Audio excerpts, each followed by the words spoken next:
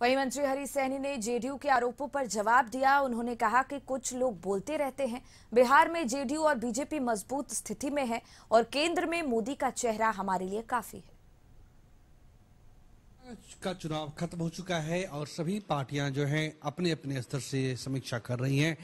कल बीजेपी विधानमंडल दल की बैठक हुई, जिसमें बिहार सरकार में वरिष्ठ मंत्री हरी सहनी मौजूद थे। हम उनसे सीधे जुड़ते हैं। जो बातचीत हुई आप लोगों से में क्या निकल के आया कल की वार्ता में, बैठक में?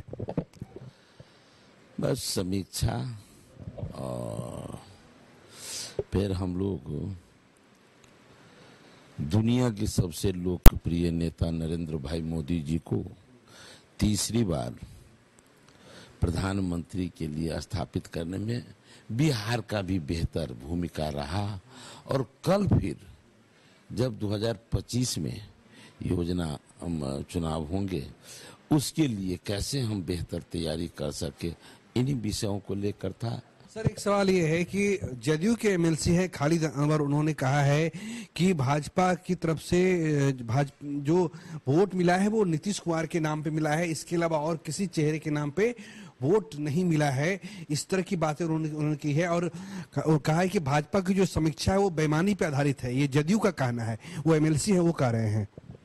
देखिए, वो क्या कह रहे हैं?